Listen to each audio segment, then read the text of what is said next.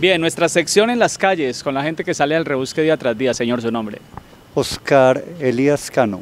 ¿Cómo va, don Oscar? Dedicado a la venta de heladitos, lo escuché por ahí gritando helados. Claro, toca porque pues sí, ya las oportunidades de empleo son difíciles y no solamente acá en Cartago, sino a nivel nacional y también en los demás países porque la economía mundial quedó colapsada con la pandemia.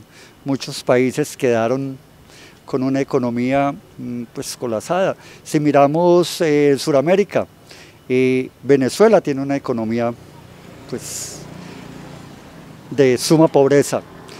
Argentina con los cambios actuales también van hacia una estanflación.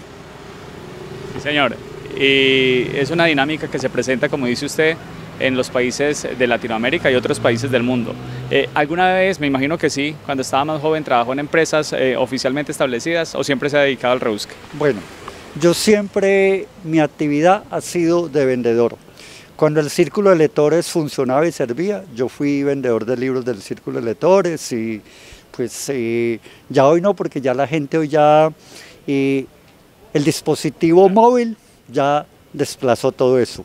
Y luego también hace 20 o 23 años, cuando se podía vender electrodomésticos puerta a puerta, pues también trabajé en eso, pero ya las grandes superficies desplazaron eso y sobre todo el día sin IVA, porque la gente va y, hace el esfuerzo de comprar el día sin IVA. Sí, señor. ya no sirve, eso ya no son... Y la tecnología y la tecnología de punta ha acabado muchos empleos y muchos empleos acabarán. Sí, señor. Eran otras épocas, la de salir a vender libros puerta a puerta. Era vender libros puerta a puerta, la gente los compraba, eh, solicitaban el pedido. Lo mismo sucedía con los electrodomésticos, pero ya no hoy, ya hoy no es, ya eso ya no es viable. ya la tecnología desplazó todo eso. Todo eso sí. Bueno, don Oscar, eh, helados, ¿desde, ¿desde cuándo viene dedicado al negocio de los helados? ¿Y qué recorrido hace habitualmente? Bueno, antes de la pandemia, eh, la, cuarta semana de enero del 2020, y yo recorro los comercios y, pues tengo una ruta que recorro todos los días y tengo eh, clientes que me colaboran. Gracias a los clientes pues puede conseguirse uno la comida y cualquier peso.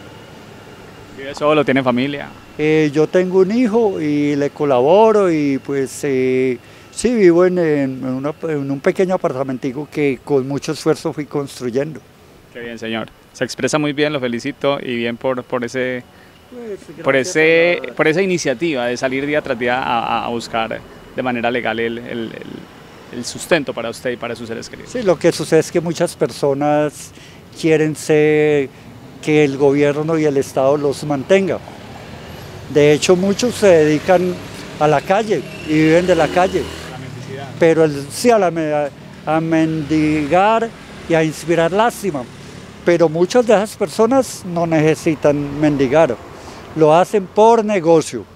Y no solamente aquí en Cartago, sino en todas las ciudades del país y del mundo. A excepción de países donde no les permiten los mendigos.